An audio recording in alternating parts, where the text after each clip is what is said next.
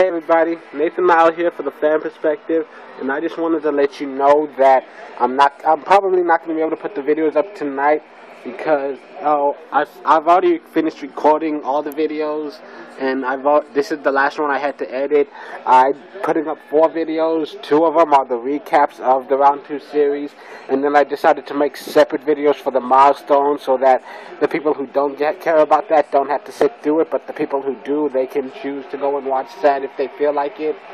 But uh, yeah, I just watched the Knicks uh, extending the extending it to Game Six, and right now I'm watching the Spurs Game Six. Hopefully they can close this out against the Warriors, and you know I'll put that would if they if, they do I'll put that video up as soon as possible.